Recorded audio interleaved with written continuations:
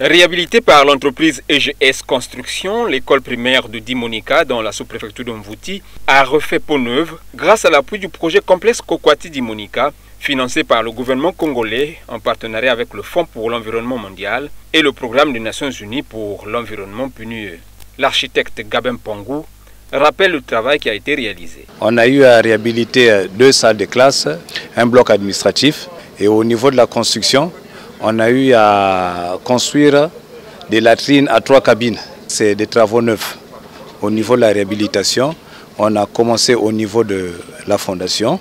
Au niveau de la fondation, le bâtiment a été attaqué par des érosions. On était obligé de chemiser la fondation pour essayer un peu de renforcer le, le sous-bassement. La durée des travaux, c'était prévu pour deux mois mais on a multiplié les efforts, on a pu finir les travaux en, en un mois. Située dans la réserve de la biosphère de Dimonica, cette école qui a perdu son lustre pendant plusieurs années nécessitait cette cure de jouvence, a indiqué le directeur du projet, Alain Jean-Claude Balendé.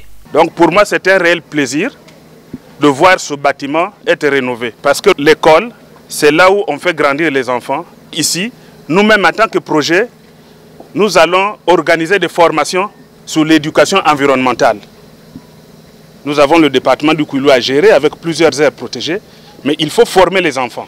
Avec un effectif de 104 élèves repartis dans quatre salles de classe en alternance, Hubert Makoso, directrice de cette école, remercie tous les partenaires qui ont fait partie de cette mission.